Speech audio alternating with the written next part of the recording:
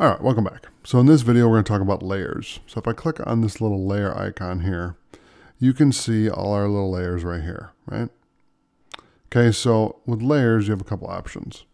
You can show all items, you can show images, you can show shapes, and you can show text. So that's kind of a way to categorize or separate your layers so you can specifically go to a layer that you're looking for. So for this example, we'll do all layers or all items. And if I right click on it, I can do a lot of things. I can copy, paste, paste appearance, duplicate, delete, rename, lock, hide group, make component, add character style to assets, mark for export, export batch, and then export selected. Okay. So remember we were talking about assets in the previous video. We can add this to the assets to the character style to assets, okay? And you can do that with each and every one of these, okay? It doesn't, you can make component. So with the shapes, it doesn't let you do it as much. Make component. It depends on what the item is here, if it's an image, shape, or text. And that will determine where it will go in the assets area, okay?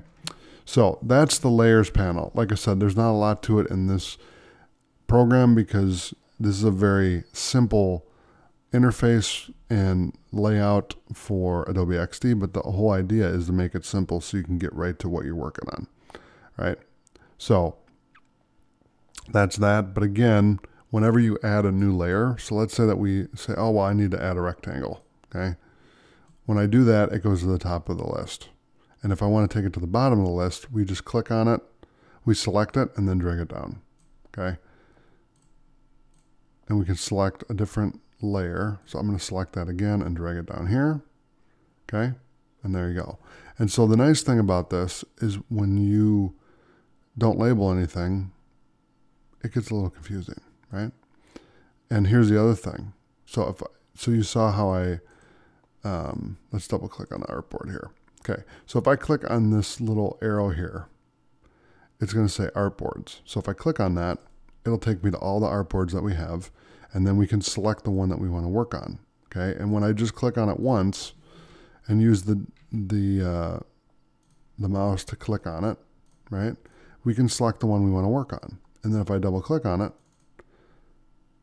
and not on the text itself, but on the icon, then it'll take me to that uh, artboard.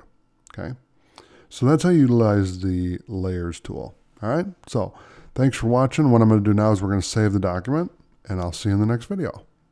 Thanks for watching.